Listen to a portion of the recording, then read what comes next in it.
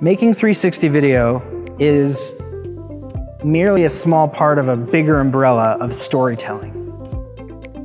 In my history and my career working as a documentary filmmaker with Goodline and on my own, I've learned so much value in the power of telling a worthwhile and genuine story.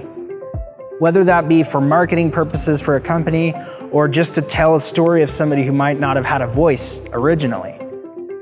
Storytelling is powerful. 360 video is another amazing medium, another amazing tool that we can use as storytellers and filmmakers to go out and communicate empathy, to bring stories to our audiences, to allow people to visit places that they would have never been able to visit prior to you creating this.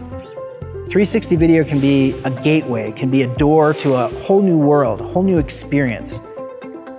This is so powerful, and I want people to understand that. I want people to be passionate about it, and I want creators like yourself, professionals like yourself, to go out and create amazing content that really blows people away.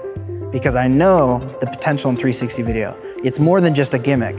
It's not just a passing fad or trend. It's a very powerful tool in the future of filmmaking and storytelling.